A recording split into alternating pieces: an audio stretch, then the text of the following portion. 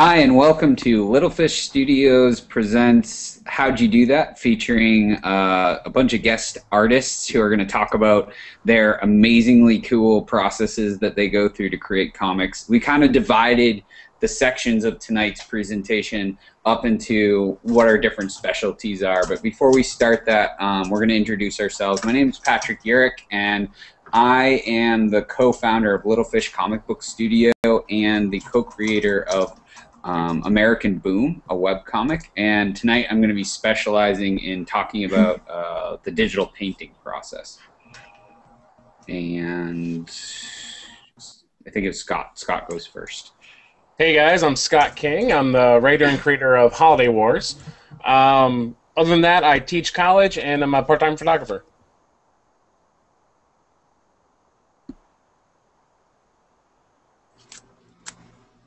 Excuse me, I'll unmute myself. My name is Emily Gillis, and I do the webcomic Jacosha. Um, today I'm going to be talking a bit about my drawing process. Hi, my name is Mark Luetke. I do the webcomic 2816 Monument, and I work for VCU Arts here in Richmond, Virginia. Um, I spent a long time being super frustrated with trying to mix traditional and digital, so I'm going to try and go over a little bit of that and maybe give you all some tips and tricks to speed up the process. I'm Crystal Rollins. I write and draw the comic aspect for Wayward Studios, as well as doing colors and editing for Jacosha for Emily Gillis. As a day job, I do print prep for a company called Rainier Industries that does large format prints of all kinds. And I'm going to be doing a rapid fire explanation of my coloring and shading process today. Hi, my name is Bizhan Khodabandeh, and I uh, do a webcomic called Richmond Monuments. Uh, my day job is to work at VCU Commonwealth University's communications director for the communication arts department, which I know is a little confusing because there's a lot of communications in there. Um, otherwise, I'm also a freelance designer and illustrator. I'm going to talk a little bit about the uh, back end side of comics, the process of uh, strengthening your skills as a comic book artist. And back to me. So we're going to be talking a little bit. I'm just going to give people a general overview of what's happening. Um, we're each broken into five-minute segments, and we're going to be talking specifically about uh, the different uh, stages of the comic creation process. Scott's going to talk a little bit about writing. Emily's going to talk a little bit about drawing. Um, Mark's going to talk about scanning and the, the prepping process. Um, Crystal's going to talk about her coloring process, and I'm going to talk a little bit about like what I do, which is what I kind of call digital painting. And Bizhan is going to be talking about like the betterment process, um, and he'll be able to explain a little bit more about that when we get to him. We're each going to be doing these in about five minute segments, and I want to remind the viewers if you'd like to ask us questions, go to Google Plus and just type in Plus Little Fish Studio. I am monitoring our uh, feed. We've already gotten a question in, so. Um, feel free to add questions into there as you see them, uh, as you see fit, and uh, we'll try and get to your Q and A's as we can. So. Um, just to remind the panelists, remember to mute your mics when it's not your turn to share, or I'll mute them for you. And we're going to start with Scott. Scott, you're going to talk a little bit about writing. All right. Hey, guys. I'm going to talk actually a little bit about the scripting process. So, kind of the process you get to once you've done the brunt of the writing. Um, my background is that I went to school for film and electronic media, and I kind of teach writing in college. So because of that, I kind of gravitate toward the screenplay format. I'm going to go ahead and screen share. So here we are. This is a, a sample script for a uh, project. It's called Monster Eater, and it's a prequel to Holiday Wars. It's a 126-page graphic novel that's sort of hush-hush, but this is a, little treat for some of my readers. Um, for the format, it's, it's pretty simple this up here is what's called the scene header, and it's basically saying, hey, this scene is outside in a field, and it's later than the scenes before it. This giant chunk of text is what's called an action line or action lines, and they're just saying, hey, this is what's happening in this scene. This here is the character's name saying, hey, this character's speaking, and this is what they're speaking. And that's pretty much all there is to the screenplay format.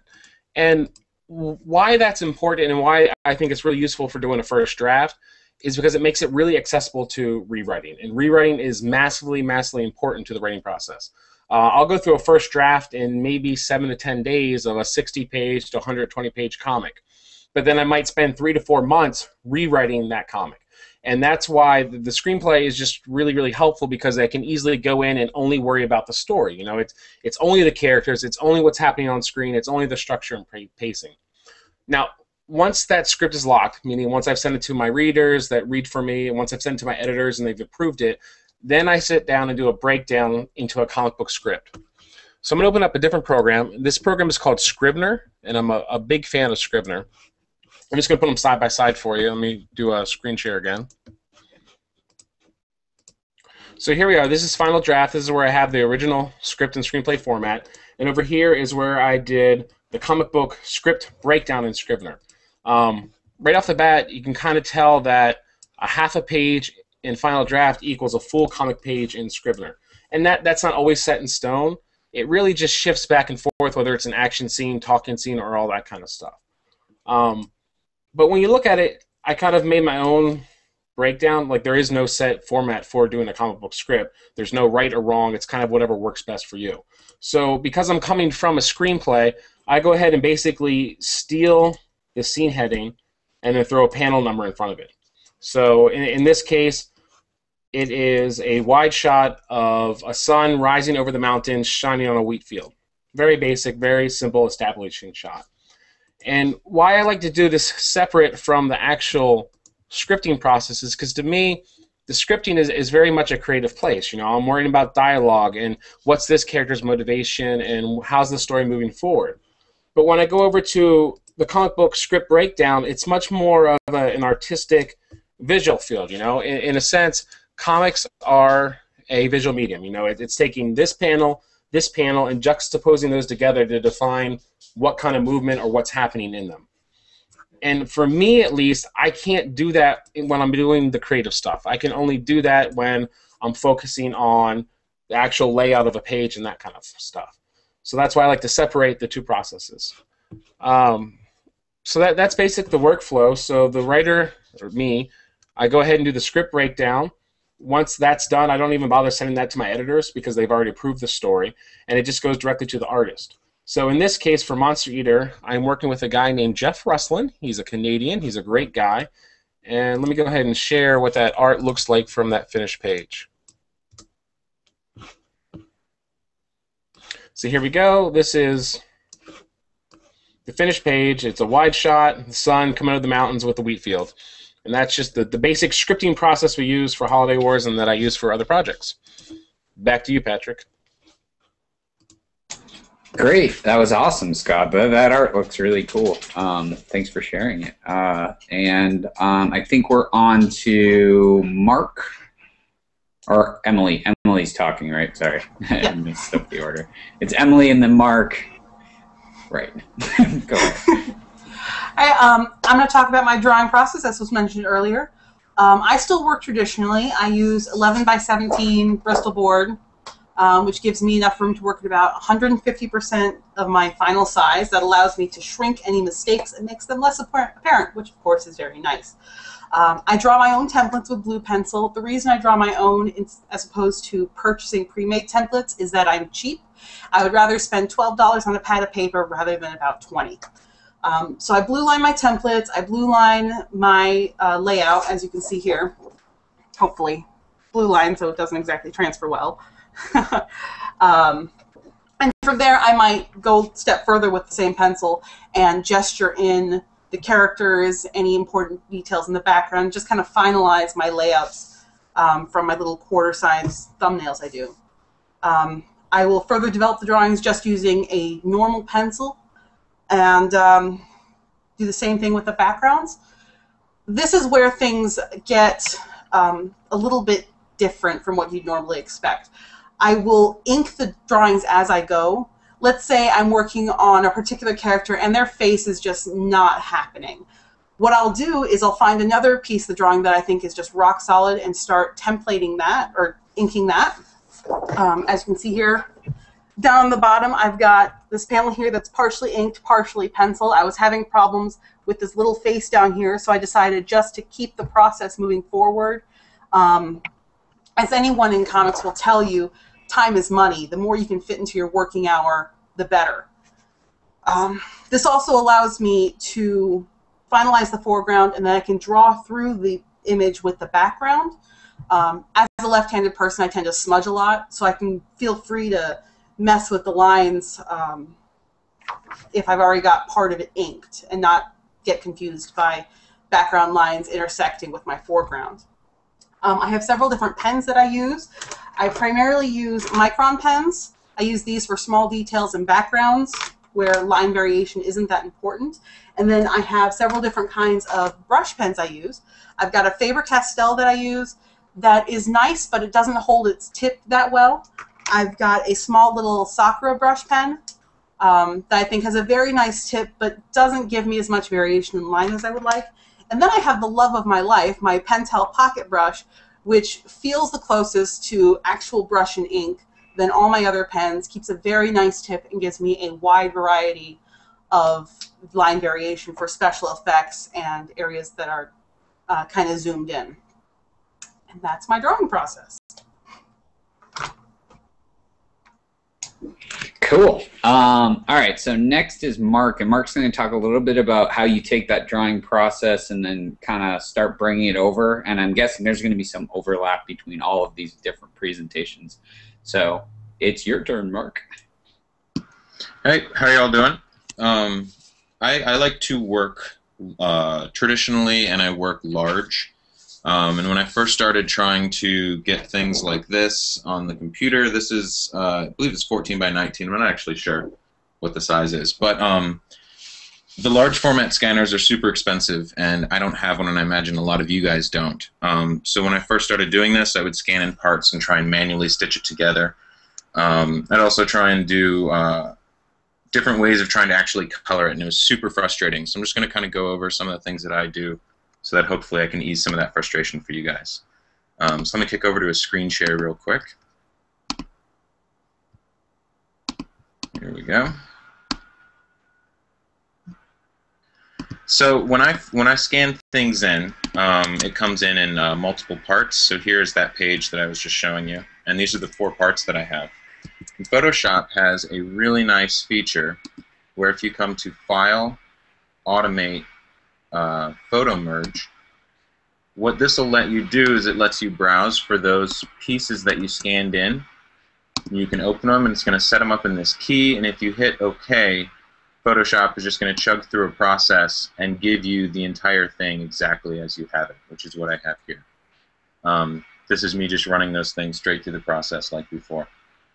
Um, once it comes in, I, I, like to work in blue lines, um, and you need to get those things out of there. You also need to clean up your uh, um, the inks because these aren't coming in as dark as I'd like them to be to, to start working with.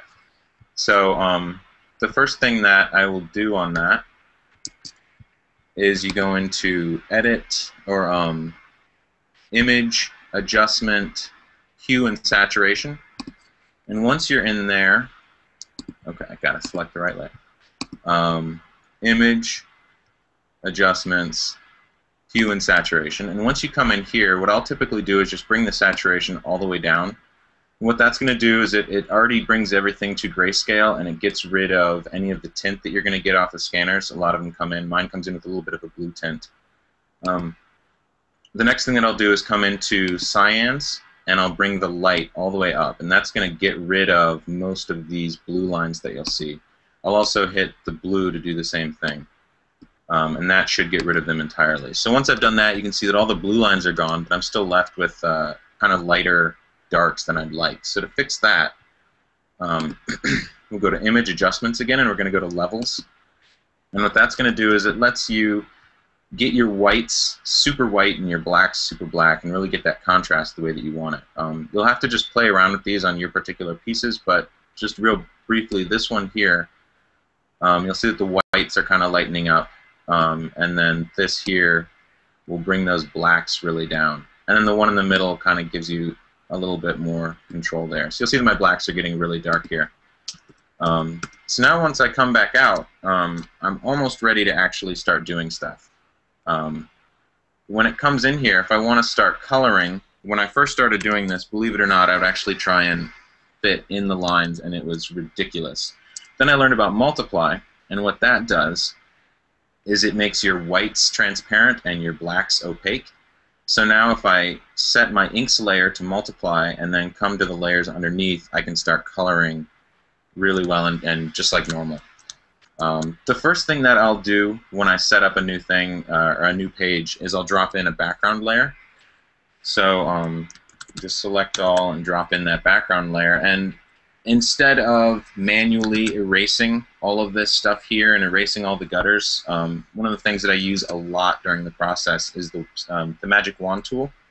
And I'll come back to my inks layer and I'll just select the whites and just make sure that you have contiguous selected here. Um, otherwise you'll get all your whites everywhere. But what this does is it allows me to then go back to that layer and delete out and I've automatically fixed all of this stuff. One of the things you'll want to do when you're doing that is um, go up to select, modify, expand. This is for your selection here. You're going to expand that by a couple pixels. I like to go with four. Um, you can just mess with uh, what works for you. What you'll see is it's eating into the blacks just a little bit, so you don't get any of the uh, anti-aliased colors out there, and it really kind of keeps everything really nice and clean. Then we can do that, and that works really well. Um, this this particular process works really well for um, uh, word bubbles. They're a pain in the butt to try and uh, hit in the lines on everything. Um, so again, you can just do that with that right there. Um, this sort of process of just cleaning up the outer edges is one of the things that I like to do a lot on this. So I won't really worry about the edges here or any of any of the gutters. I'll just mark all over that stuff and then just come back and clean it up when I'm done. So uh, that's about it for me, and I think uh, Crystal will give you some more ideas on how to actually color this stuff beyond prepping it. Okay. All right, so I've got a lot to cover, so I'm going to go kind of fast. I'm You gonna- know, hey Crystal, Oh. we're running uh, we're running quick, so B is um, you can you can you can go explain as much as you want to. I guess is what I'm trying to say. Oh, say. okay. All Don't right. feel the need to like rush. I can take up the whole hour, so don't give me too much. I'll give you a warning. Don't worry. All right. Either way, starting into Photoshop. All right. So I do the coloring for Jacosha, and my comic's black and white, so I'm actually going to use Jacosha for my demo. Uh, so when I get the pages from M, they look like this. They've got the guidelines in there still, and they're set up in flats. Well, I'm going to do one of the panels today, um, and to show you the way she sets it up is she does the flats in several layers, so that I've got not only the colors sectioned out, but they're in separate layers so that they also create separate shapes that I can use as part of my coloring process. So the first thing I do actually is I add a gray tone layer above all the colors because when I'm doing the shading, the colors actually tend to be kind of distracting. So what I want to do is take those out. I just set a grade about 90% so I get a little hint of colors, but it dulls everything down. And then I go in with a soft, like an airbrush tip in Photoshop, and I'm just going to put in some general sort of shapes at first. I'm trying to identify where the large blocks of shadow are and get those in there. No, no real definition yet. For that, I go back in with the lasso tool, and I'm going to build up certain shapes with the lasso tool where I either want the soft edge to end crisply, or a wider shape where I'm going to let my brush taper out more. Such as like where I want the roll of his shoulder to be soft, but the edges where it hits his collar or the side of his shoulder to be more crisp. And I just continue to build up like that using the shapes and the soft airbrush tool to give me definition over time. Um, I also use some low opacity brushes with my Wacom tablet to kind of create like the cast, the reflected light in here, like softer forms within the shadow. So for hair, I actually use a sharper brush I found to erase away the highlights. Hair, you tend to have to shade completely different than everything else because it just uses different lighting rules. Um, so there I've like erased away the rim lighting around his head and left the general shadows in that I had put in before. And from there, I'm actually going to make a second shadows layer so that I don't have to worry about mucking him up while I go on to working on Nifty. And I start out the same way. I brush in some really general shapes, and then I work in in a little more detail. So this is showing an example where I can use the the magic wand tool to actually select the colors from her separate layer to create a selection so I can work on the bars and make a nice crisp edge where those bars are without disrupting the shapes I'm already starting to form for her. And I just I build up the shadows using a brush on a separate layer and I've basically finished her. I did some some harder layers for the bars to make like the the cast shadows created from the bars over her body. And then what I'm going to do after that is I'm going to use the layer that has his flats and I'm going to control click onto that layer. See, like right here, if I just hold down control and click, it'll automatically create a selection based on what pixels are filled at what transparency on that layer. So I can use it like a masking tool. And then I'm just going to invert and cut away the pixels I don't want for him. And I'm going to do the same thing on her layer. And that's cleaned that all up. And then I'm going to work in a third shadow layer just to put some general shadows and tones into the background. This is really quick. I work the backgrounds really quick with brush strokes. Just I sort of brush in really generally, and then I erase away little textural details to give an impression of what's going on in the room. And in the same way, I use those layers again to form a mask shape and cut those out. So now everything's nice and clean together, and I've got a basic, I've got three layers where I've been brushing onto those layers with the paint tool at various transparencies. These layers aren't op- are not opaque, but they're set to multiply so when I, I have an idea of how dark they are against the gray tone layer, but they're at various transparency levels pixel by pixel. It's going to be important shortly. So now that at this point, I merged three layers together, which looks a little odd because you're losing that multiply effect, so it just turns into a color blob at appearance. But what you've got there, where you can see the colors coming through that gray, is you've got various transparency levels that are going to create your selection. So then, at that point, I take all of my different layers that have been produced before, and I copy them, and then I merge them together, where you're seeing this layer that I've labeled shadows, and this other layer that I've duplicated again that I'm about to label lights. I'll basically, I'm going to basically have two full layers that are all the colors set up together that I'm going to then create the color selections from. So from that point, I'm going to do control click again onto the shadows layer to create a selection and I'm going to cut it out of the lights layer. And I've got another page I've finished before that I've gotten some lighting effects that I like. And what I'm doing here is you can copy a layer effect or you can actually duplicate your your action layers over to the other document you're working on. And so I copy my layer effect that I like for the lights layer over, and you can already see where I'm starting to get some form coming into those shapes, just from adding the lighting. And on the shadows layer, I do the same thing, copying my layer style that I like, only this time it's a hue and saturation darkening, and also a massive red tinge. Um, from there, about the only thing left is I've got a little layer effect where I add a red tinge with a hue saturation correction to add some like blood flow look to the shading on skin because I found that skin shadows always need to be a little redder than everything else because people's skin is translucent. And it really kind of makes people look alive. It's really subtle, so you might barely even be able to see it there. Especially through the Hangout, it tends to really flatten colors. And, you know, after I've done that to all the panels, and not just that first one, I'll have a page that looks about like this. Um, yeah, that's done. That was awesome. I told you it was rapid fire. That was really cool. No, I really liked it. I liked seeing the process. Um, and I don't think actually ours are, are super, super different. I, I realized one of the things that I've been struggling with in my coloring process uh, since we started American Boom, I only did a little bit of coloring of Hipster Picnic. That was a bigger black and white venture. And then I moved into black and whites and grayscales and more just flats. Um, and hipster picnic was like a zombie comic that was just kind of like me experimenting with the web comic medium.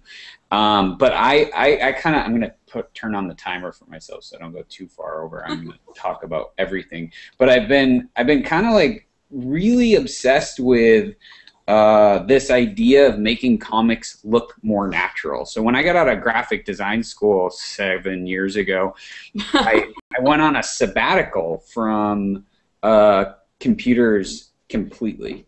Um, and and I and I just started painting. I went back to art school uh, for to get become an art teacher because I gave up on my graphic design career, which was probably a good move on my part actually. Um, and I started just really wanting to get better. Uh, so the my personal story only is that I decided I want to be a comic book artist when I was in eighth grade, and then all through high school I would only work in black and white. So when I got to college and I started learning about colors and how colors work together for graphic design, I became kind of interested in that. And then when I finally quit, but I noticed like all of my graphic design looked flat. And that's kind of what I want to talk about right now is all my I'm kind of obsessed with that. How do you take those natural qualities and start throwing them into uh, the artwork that you're doing. So uh, one of the first great resources I can share with you guys was um, Michael Dambold uh, did. Um, let me see if I can get to it.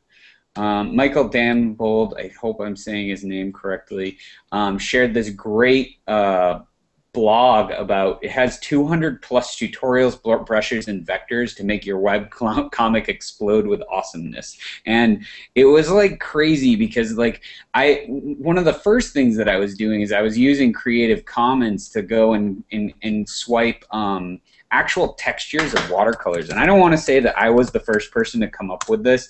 I was actually kind of taking the lead from uh, Ryan A, um, uh, who did most of his comic, well, some of his comic, um, Nothing is Forgotten in my living room, and he was kind of talking to me about how his technique was to actually create different web comic, uh, different watercolors, scan them in, and then use them for the layers that he created in Photoshop. I was actually so for the long, the first part, 15 pages of American Boom, I was using Creative Commons and Google search to like go look for various watercolor textures and then bringing them into um, Photoshop and, and, using them as different layers. Um, but then I found Michael's uh, Photoshop tutorials and resources, and one of the things that I gravitated to immediately, just wanting to play with, was Photoshop brushes, and I started playing with um, like the these great like giant swatches of like uh, uh, just texturized brushes, splatters and, and and splatter brushes, and and one of the cool thing about customized Photoshop brushes is that um, after you get done with this phase of the flats, um, so these are the flat colors for this particular comic, and what I would uh, what I would do um, to move from this flat stage to the next stage is I would you know select um, a certain area of her face. And I would do kind of what Crystal was talking about. Um, let me grab like not a crazy brush. Um, but I would do something like Crystal was talking about, and I actually will use the pen, the pencil first. Let's see if I can grab that. Um, I'll use the pencil tool because I like that hard edge uh, for the first round of colors that I'll do. And I'm kind of just, I, I don't have multiple layers that I'm working. Oh, I'm not on screen share anymore. Jeez. Sorry about that. Um, so uh, I'll, I'll, select this color shape, and um, then I'll just kind of go and I'll pick out, you know, her face color. I'll, I'll, I'll pick a darker version of it, and I'll just start going through and adding like shadows where I, I feel like they need to go on her face, and and this is like you know the, a slow process because obviously I'm going to go a little bit faster than this. I, I like the uh, the pencil tool for this at first because it helps me remember that I'm just blocking out shadows. Um, and I just accidentally did all of this on my flats layer, which I don't really want to do. What I actually do is I duplicate my flats layer to kind of get to where um, Crystal was just talking about, where uh, you know I can grab selections really quickly. So I'll, I'll duplicate this. And um, as I'm doing this, uh, this this kind of um, work. I might even take a gradient bucket and I'll um, choose her skin color and then I'll click X, which is a quick key on the keyboard that switches between the two colors over here. Um, and I'll pick it again and I'll choose a darker color and um, maybe just to, to, to do my flow, uh, I'll, I'll choose the two different things and create a gradient. But anyway, one of the things that I wanted to, to, to work through and kind of show you guys was um, that with brushes loaded in here, these customized brushes, um, we can go in and choose like certain things like uh, this kind of like amazing um, turn it on and I'll show you. Um, and, and it's really to get around and circumvent that kind of like the flat kind of feel. No, that looks horrible. Uh, kind of flat looking uh, feel that you get when you're playing with comics and kind of give it that kind of like more edgy uh, but also textural and some of the stuff that you might actually see in in a real painted comic. Um, and I wanted to have those. So so anyway, I've already completed this page. The the final looked something like this, where I was actually taking my time and accenting the emotions of the character that were coming out in the background. But I was really not using any paints, and I actually didn't paint any of this myself. It was more of me taking those brushes and the direction lines. Um, located here, uh, if you can see this, like she just turned her head in the previous panel. And so like I was having her kind of like sway over and like kind of snap at him. So I really knew I wanted a splatter line in the background that kind of accented that motion line behind her. But stuff like that, again, I was using some downloaded um, uh, paint uh, paint text paintbrush textures. You can also do this by adding an overlay of a uh, watercolor texture and kind of grabbing from it. One of my students, I was showing them this, and they were literally like, but that's cheating. That's not real digital painting. I'm like, dude, like I don't think you understand. I'm like, this is why you know you're you're a student and I'm an art teacher right now because almost 90% of what we do is kind of what you might consider cheating, but it's more just borrowing different techniques and using them. So um, I've talked a lot, and now it's Bizhan's time to kind of talk a little bit about the uh, betterment process. Bijan, Bijan, Bijan. Sorry, I said it wrong twice. It's fine. It's right. again from Richmond. It's Southern. so um, I'm going to talk a little bit about the betterment, but first I'm going to share my screen, and since I am uh, a teacher. I like to lecture, and I'm going to have a little slideshow.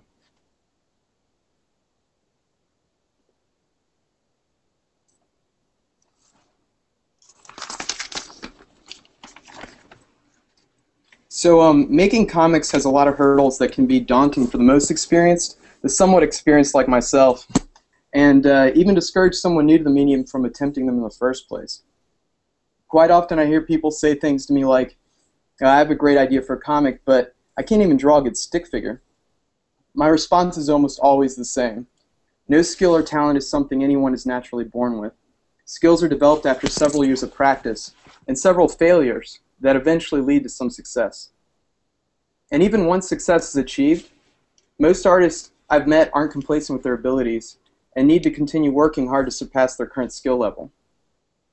That might come as a shock to some people, it can be difficult to understand why anyone would need to continue to work so hard after reaching a certain level of competency in comics. The best analogy that I can come up with is that there's a reason why even the most skilled professional athletes rigorously, rigorously perform many of the same practice routines as an amateur. We can always do better, and it ensures less failures while performing on the field, or making comics in our case. So I've compiled together several fun exercises to continue challenging oneself a part of the comic process that is sometimes forgotten. One approach that a few of my friends have practiced is making a drawing a day. Nothing time consuming, just a simple quick drawing without any major commitments to a story, concept, or client. The drawings will become less precious as you complete more of them, which will help loosen you up and build confidence in drawing. To complement a drawing a day, there are websites with timed drawings that cycle through various images of models to emulate a figure drawing class, they tend to move from quick 30-second gesture drawings to longer, more developed figure drawings. Now, figure drawing is a useful tool for comic artists because spending time illustrating people realistically, or somewhat realistically, is going to inform naturalistic or cartoon drawings. An analogy that I often use with my students is that people involved in organized crime spend a lot of time understanding laws so that they can effortlessly break them without repercussions. the better that you understand how perspective, drapery, foreshortening, anatomy, movement, etc., the more convincing your abstract reality will be. Another great tool that I happened upon in a convenience store is a game called Story Cubes. It's a set of nine dice with images on each face allowing for over 10 million combinations. The idea of the game is to roll your dice and tell a story based on the images that land face up. Each image can be a slide or a page, or excuse me, panel or page. It will help strengthen your ability to tell story because your focus will be on completing the challenge instead of finishing a masterpiece. Again, the more you do, the less precious they become, and the more confident in writing you get. The 24-hour comic challenge started by Scott McCloud is another great way to loosen up and focus on storytelling. The challenge is to illustrate a 24-page comic in 24 hours. If 24 hours is too much of a commitment, try a 12-hour 12-hour comic and start yourself off. I co-organized one and participated in a 24-hour event myself. It was a great opportunity to meet several comic artists in person and force myself to strip my comics to their essence instead of fixating on individual panels. At the time, I was drawing comics that looked like this. But I was forced to illustrate something more like this for the 24 hour. A lot simpler, a lot more reduced, a lot less detailed. Another extremely useful tool is exercising one's ability to observe from life by drawing from life. Keeping a small sketchbook and a few pens and pencils on hand at all times to illustrate the way people interact, how they carry themselves, what the flow of the conversations are like, as well as paying attention to the environments and objects. When drawing like this, artists will tend to start recognizing patterns in the behavior of people, light, shadow, form, etc. And pattern recognition is the beginning stage to synthesize information in a way that informs mutations of the comics medium. Synthesizing seemingly unrelated objects or concepts might be difficult for some people. In order to begin regularly building relationships between different objects, one needs to exercise that part of their brain. A great exercise to achieve this is this nine-step process that I've developed to break down an image and combine it with another. It's a lot of steps, so I'm making it available on my blog, along with links to other resources I mentioned. You can go to mendedarrow.com for a link to it. So the first step is to analyze the media to produce the object. The second step is to discover the basic composed shape. The third is to note the way the positive elements complete with surrounding space. The fourth is to note the effects of the negative space or the environment on the object. Fifth, to trace the shape of the object with your eyes in a meditative way, following the contours in a way that doesn't directly depict the image. Analyzing the planes and how they define objects in the third dimension. Analyzing how highlights, if any, affect the three-dimensional quality of the symbol or object. And then you repeat this with other objects, and you end up with this completed image that's combining two different uh, unlike uh, concepts. So after performing this process several times, you'll notice that it'll become easier to synthesize information, and you'll be doing it quickly and in your head, and begin to use that ability to then uh, create what we call dur durable mutations in the comics medium.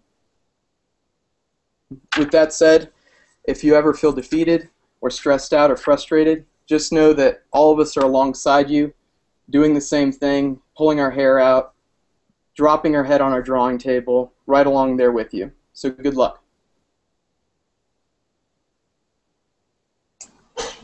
Woohoo! that was awesome. Ah. This has like been one of the the funner, uh, funner, the better hangouts that we've done. I have to say, like this was really fun. I, I'm having a good time. Um, so uh, we didn't have as many questions. Uh, did you guys have any questions that your audience, uh, audience, quote unquote, audience had? Um, uh, most of the people uh, that have posted to our, our, our interactions have just been kind of happy with some of the resources we've shared with them, and I, I'm kind of I'm really interested in um, hearing people's stories uh, as well. Um, in the sense of like how has that process changed? How many years have you been working with your particular process? Does it? How long does it change? Um, so there, I mean, how long between changes? Like I know I've changed stuff in the past two months that I wish I'd known four months ago, but like, um, how often does that happen to you guys? I can. Uh, um, sorry. I'll, I, I tend to get stuck in ruts. Um, so I'll, I'll, find a process that I like and just stick with it for a long time. I uh, when I first started to think about getting serious with what I was doing, I went through a really long phase of spending ridiculous amounts of money on all the tools that I saw the people that I admired using and trying out tons and tons of different stuff. And uh, at this point, um, you know, these are my tools right here. I just use this brush pen and a blue line, and uh, um, I'm trying to incorporate paint and other stuff and kind of expand on that again. But it, it took me a long time to kind of pare it down, and I'm kind of excited about bulking it up again. We just got a really interesting question from uh, Bill Taylor on our uh, the Google Plus page. Um, how long does it take uh, from start to finish to to create a page? Um, and I, will answer it first, just because I'm talking already. Uh, the it's really weird to ask that question. I would say from the the writing process, I probably write stuff right now. I'm doing on draft seven of chapter two of American Boom. Um, but it takes about a two week process to turn it around. But in hours, um, because I'm working collaboratively, it probably looks around like 10 to 15 hours per page. But that's because Alonzo and I share different parts of the, the creation process. Um, so we're kind of microscopically looking. Coloring usually takes me five to seven hours to do um, in and of itself per page. Who, Scott, how long does it take for a comic to turn around, a page of comic to turn around for you? Well, it takes me three to four months to do the, the final solid draft of the script. And so if you're talking maybe an average of 120 pages, that's maybe a perfect page a day, just, just math wise. Uh, it goes to Michael Odom, our awesome penciler. He pencils and inks. It's about an hour for pencils, an hour for inks.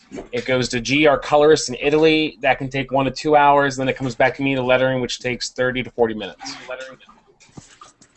Cool. Um, Bizhan, how long does it take for you to turn around a uh, page of comic book art? An obscenely long time, it seems.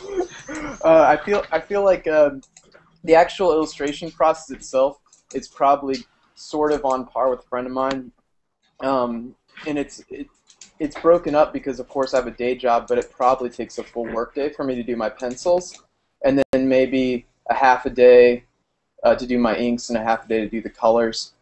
Um, but I'm kind of neurotic and I tend to erase so much that I'm wearing holes into my paper for my pencil. So especially because I'm using crappy computer paper. I don't use uh, nice art tools.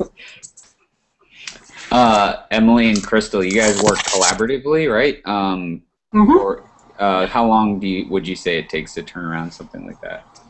Uh, usually takes me anywhere between six to eight hours to finish a page to send to Crystal. Yeah, so she does the original drawing, the inking, and part of the agreement is she does all the flats and she actually does flats for my comic too as a discount because she actually pays me to do the coloring uh, because my coloring is awesome. But I give her a discount because she does flats on my comic too because I hate flats, hate them. Um, and the coloring varies anywhere from like two to eight hours per page because if I have a really complex page or a page that I'm really trying to like get correct, um, I can really fiddle with it for a while. Um, but if I some of the pages, if they're like talking heads, I can literally go from start to finish of the shading in like two hours. Um, as for my comic, it seems like lately Aspect's just taking forever because I've been rehashing some of the thumbnails from this chapter, and I really hosed myself because I drew the thumbnails smaller than I used to, and I've been having a lot of trouble converting them and figuring out what the hell I drew. Um, but those generally run me around six hours total, six to eight, because they're black and white. Um, yeah. Mark. Uh, Mark. Um, lately, they can take between two and ten hours, I guess, depending on uh, what's going on with the strip. This last one that I did, um, that one took a long time. The background was a lot more detailed than I normally do. Um, a lot of buttons in the studio that I had to draw. Uh, took place in a radio station. Um, but yeah, quick ones go in maybe about two to three hours. Long ones are eight plus. Uh, we had a question from Facebook um, from Danielle Hargis who was asking um, about uh, how do we find our team. Um, and uh, just again, I'll start it off and we can go in the same order again. Um, some of us don't have a team, which is kind of interesting. I know for most of the two years I was working on Hipster Picnic, I was flying solo on that whole venture, uh, which isn't necessarily true. I had an editor and a guest writer every once in a while and somebody who was working with me on that. Um, but I can say uh, Alonzo and I, I was working, I mean, Alonzo and I just happened to meet each other through a mutual friend who was, uh, when I was working with the after school graphic novel project. Um, and we just kind of hit it off. I mean, despite the fact that he likes DC Comics, which I can't hold too much against him, but like, but uh, because uh, I'm a I'm a old school Marvel nut. But I guess this is like you know you pick your battles kind of a thing. So I had to move on with that. Um, how did the rest of you guys find uh, your artists or your team members? Uh, for me, I found Michael Odom through digital webbing like five years ago. I don't even know if people use it anymore. Um, for everyone else, it's pretty much going to conventions and socializing and saying, hey, look, we're looking for a colorist. Who do you know? And then word of mouth and so forth. We cheated because me and Em went to college together, and we've been rivals since like 2004. Um, and it kind of, it's funny, our partnership is because we've been each doing our own thing for a while and, you know, throwing ideas off each other but me actually coloring her comics started when she switched from gray tones over to painting color on her comic, and she did all of chapter two with digital paint. And this is gonna sound super mean. It looked horrible. She well, well, that wasn't the mean part. The mean part was that this this collaboration actually started around the time chapter two ended. Because I'm like, so I really like Jikoshi in color, but it looks like ass and Em's a good enough sport that she she admitted that she wasn't as happy as she liked on it. She's like, well, fine, you try a page. And I did, and it was really fun. I always have more fun coloring her comic than I do working on my own, which is probably a bad sign. Uh, I work alone, so I don't. I don't. I don't have a team. Um, I work alone. The the times that I have paired up with people, um, I did some comics with my brother a long time ago, and just doing fun comics with friends, um, kind of like role play comics where you each take a turn doing a page. Um, that's just good fun stuff. So. Bizhan. Uh, yeah, I, I actually um, for, for Richmond Monuments, it's pretty much myself, but I have a, a great friend Ron who I bounce ideas off of, and um, he's been a real asset. I met him, be, you know, through a mutual friend of ours, and I showed him the the first few comics that I did when I first started, and he said, you know, you should change this punchline to this, or you should switch around the position of the character, and it brought so much that you know, a few months later into the comic, I asked him, hey, would you be interested in just letting me bounce ideas off of you from now on? And it's been really, really useful. He's a great asset for me. That's a that's a really good point. Um, like I said before, I work alone, but uh, I bounce ideas off my wife all the time, and I've got a few good friends that I'll always show scripts to or, or in process work. Um, especially for people who work alone, you need to have someone else who can come in and take a look at it because you're usually going to be staring at it for too long to be able to have any sort of critical eye on it. So. Yeah, I usually um, I pick three different editors. Uh, and they usually should be people that are pretty much um, gonna like what you're doing. And uh, my first editor that you should always pick is the one who tells you how awesome you are every time you give them something. And then you know your editor after that should be kind of your uh, content editor, um, somebody who's gonna help you with um, how like on point are you with some of the stuff that you're writing. Uh, if it's fact based, I know I do a lot of research based stuff for um, my stuff that takes place in San Diego and Tijuana. So I need to make sure um, that that's all on point. Um, and I also a lot of my stuff is in Spanish, so I need a Spanish editor for that. Um, so they usually that's the same person, Marisol Franco, um, who's uh, helping that. And then I have my lead editor. He's the guy who tells me if my comic is good. Like basically he's helping me restructure it so that it kind of flows together as a good story. Um, and if he can happen to be a professional writer that can really help. Um, and mine is but uh, I, I, like to have a multitude of editors working with me.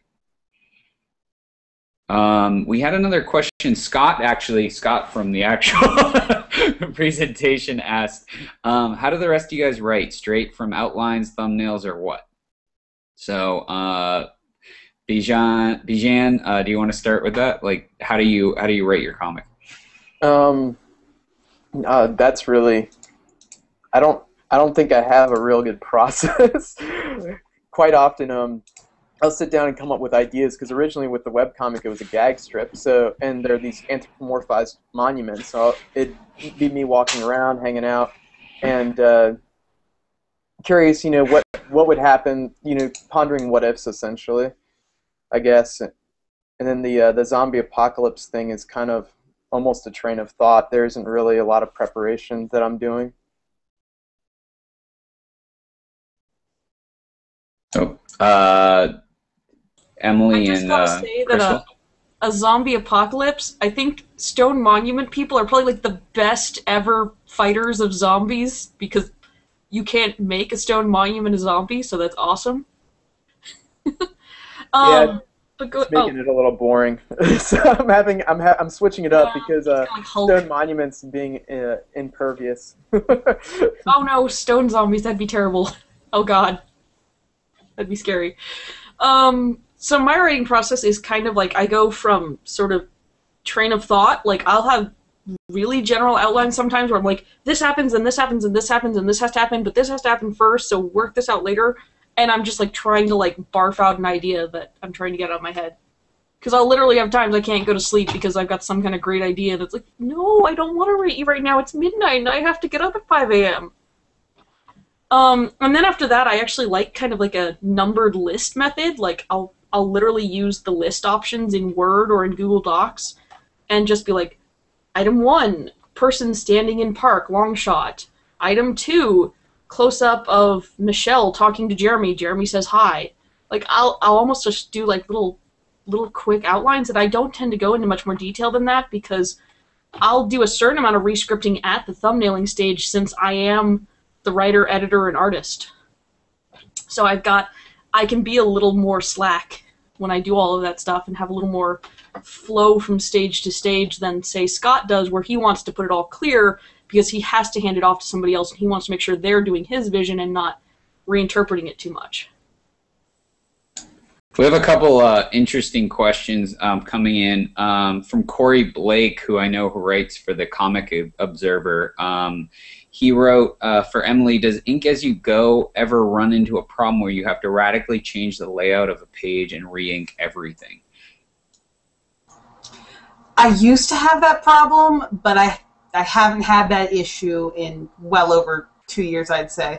Um, occasionally, I might have to redo a whole panel, but that's easy enough to fix. Um, if I do go to inking now, I usually have the layout done. I'm not going to change anything. So I, I assume that when you get to the inking as you go process, you, you do pretty extensive thumbnails then, so you know like exactly what you're doing at that point? I wouldn't say extensive thumbnails. Um, I've actually got some right here I can show. They're pretty tiny. Okay. Um, but if I have any sort of questions about my own layout, I'll do that during the pencil stage. I'll lightly pencil it in. I'll do it when I'm doing blue lines um, and get that figured out before I even get detailed with the, the, the art. And the next question was from Gwen, um, Gwen Patton, who's been following us uh, since the beginning of the, the Hangout. She asked, uh, Photoshop seems to be the software of choice. What other software or digital tools do you all use? Um, and I wanted to just point out that I have used Illustrator in the past for lettering, and I actually will sometimes bring that layer in um, like I'll, I'll take a quick snapshot of it and I'll do all my bubbles um, the Scott McCloud way. He had, he released a video several years ago about how to do uh, lettering in Illustrator, and I'll, I'll sometimes grab that and bring it in as a Photoshop layer because I feel like it comes in a lot more crisp um, for letters from that. But that was kind of taking a long time, so I didn't do it uh, all the time. And then another way that uh, another two programs for a year I was using only free and open source software, uh, GIMP and um, Inkscape for all of my comic creation stuff, which I found um, very challenging when I was trying to do a lot of the, the streamlined digital painting stuff. So now I'm back on Photoshop, um, but it was helpful to see um, to use GIMP for for it because I now know how far I can push my students using free software if they're reticent to buy um, uh, Adobe products. Although with Adobe releasing CS2 for free, um, like a couple weeks ago, all of that seems not important anymore. so, does anybody else use any other graphic software? I, I use Photoshop myself, but a, a good friend of mine, uh, Josh Bauman, who does the strip Caffeinated Toothpaste, he told me that he works in Manga Studio, and he seems to be really happy with it. Um, there's actually quite a few uh, um, other web comicers that, that seem to get a kick out of Manga Studio. I've never used it myself, but I've heard good things. I, I don't remember who I was talking to at Emerald City Comic Con, but I, I know at least like two of the people I ran across were doing Manga Studio, and they were saying specifically that it works really nicely for gray tones, especially if you're trying to do manga-esque screen tone and like gradient and textured screen tone effects, and that apparently it outputs to print a bit better. So because apparently there's a bunch of people, even like professionals. Uh, I was talking with Jennie Breeden of Devil's Panties and Obi about how they're having trouble with with halftones from bitmaps because a lot of the printers don't seem to know what they're doing, so they'll output really wide screen tones and blame it on the people inputting the files, which is really sad. I've uh, I've messed with uh, something called ArtRage. It's uh, it's only about uh, sixty dollars, but it can be. Uh, it I think it's right now it's going for for thirty dollars, and it's really great because it emulates actual art supplies. Like the paint looks like paint, the markers look like markers, the watercolors look like watercolors. You can even squirt a paint tube on the canvas and then use a palette knife to to swipe it away, and it's starting to gain more and more popularity. And I played around with it when it first came out, and it was just too close to the actual mediums for me to use viably as to color my uh, comics, but now they have these new selection tools and some other things that are that are making it a little bit uh, more useful. And I think I'm going to start playing around with it, even in the next strip. Actually, I'm going to start playing around with that tool.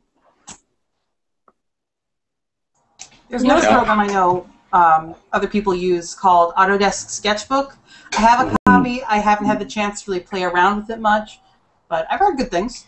Um, I know that Joe Quesada, um, the Mar- Marvel, I I assume everybody knows who he is, but I'm not. Shouldn't assume that. Joe Quesada does a lot of the pinup graphics for Marvel Comics. He's also the lead editor, um, the editor in chief over at Marvel Comics. He does his stuff with a combination of Autodesk.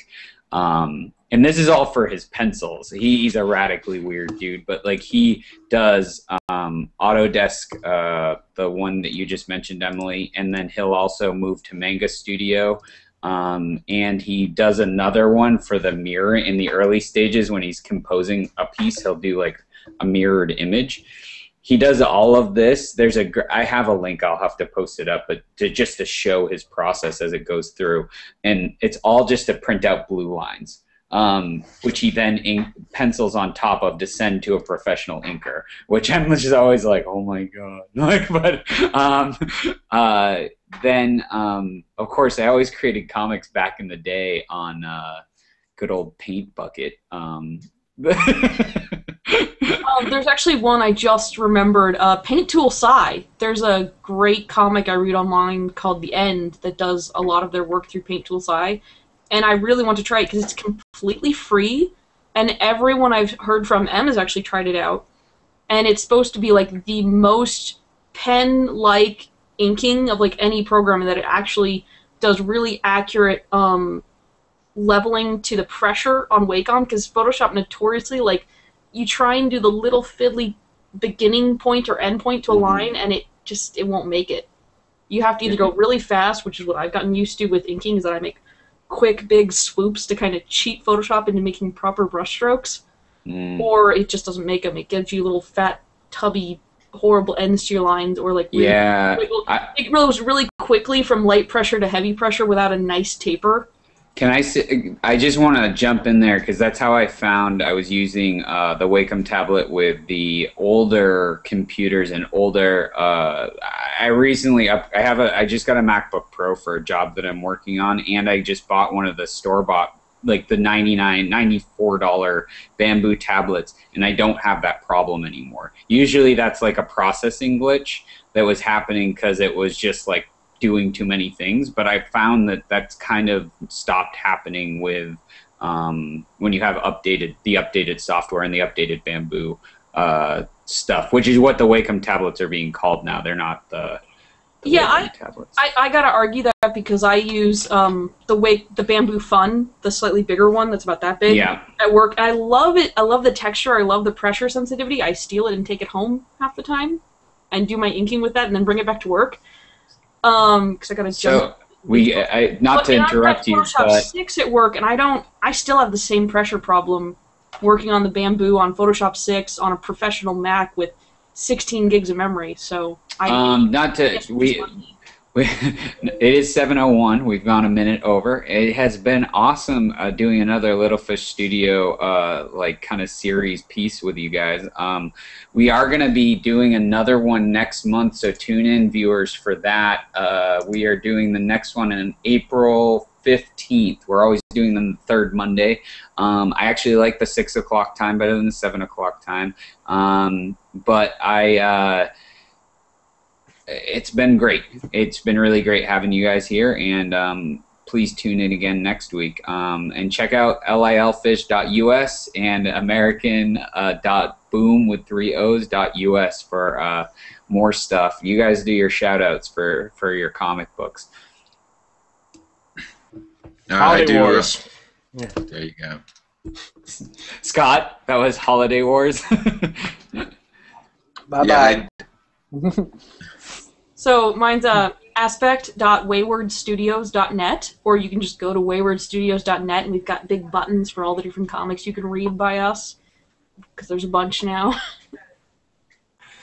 Find mine at jacosha.waywardstudios.net, also just at waywardstudios.net.